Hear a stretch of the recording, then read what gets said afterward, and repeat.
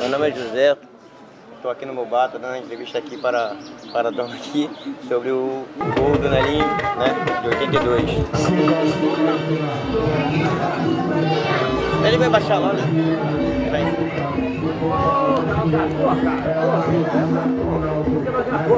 Foi um jogo bom, bom foi ótimo, mas eu não, só não, só não, eu não me lembro do pra cá, quanto foi o jogo.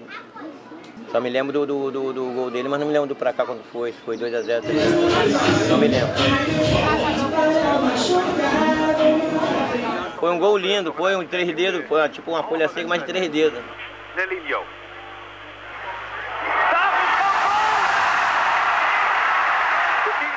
Um deles, né?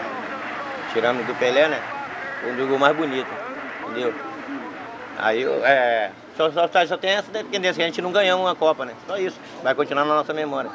Era é uma Copa na nossa mãe, a gente perdemos ela. Entendeu?